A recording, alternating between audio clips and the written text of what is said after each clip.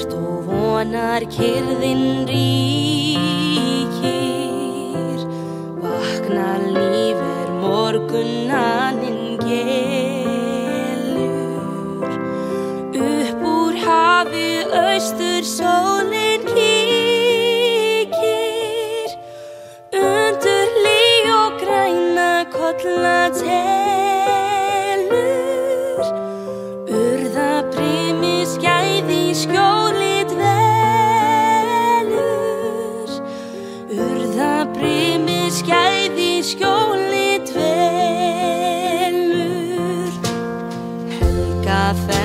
sumar kjólnum klæðist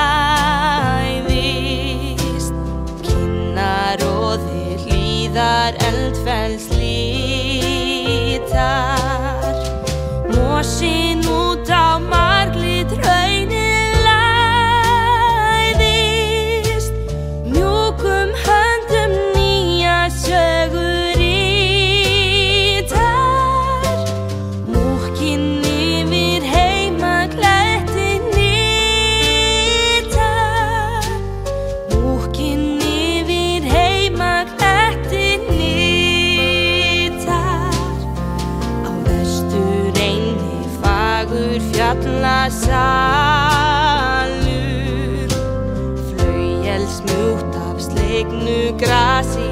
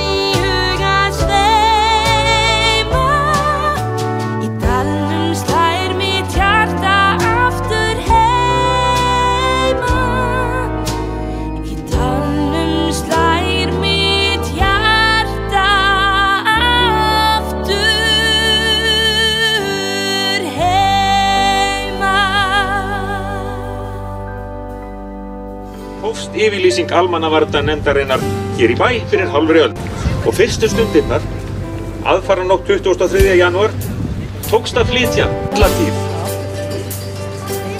Hann sagði það þarf minna en þessi ósköp til hér sunnan og vestan af. Nýtt land reis þá úr sæ og hún síðir heitið Surtsey. Þótt ekki hafi nú allir eigamenn verið sáttir við það nafn í það minnsta fyrstum sinn en æ síðan höfum við getað fylst með flóru og fánu á inni stundafari ímisvísindi og fræði. Sorglega leiðir við að hægja á hraunsflögnum og sömulegis allskins aðstofið og fastala eins vel í að hér á líðinu. Þetta fyrsta þau reglulega. Til þetta sá höfn á vatni. En samfélagi hætti aldrei að leggja þetta til til, þá er ekkert að ræða hann eitt frekar.